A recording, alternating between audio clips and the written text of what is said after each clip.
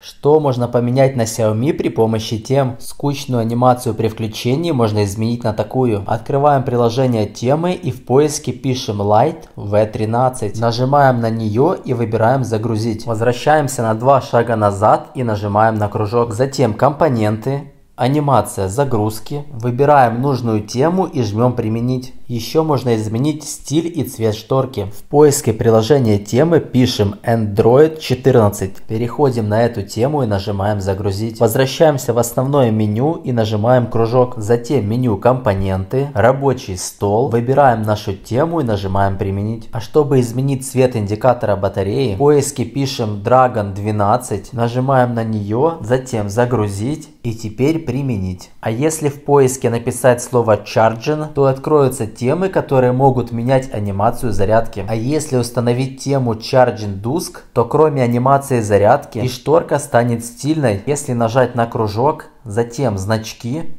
Здесь можем применять значки из одной темы к другой. Напиши, какой у тебя телефон и может ли он так, как Xiaomi.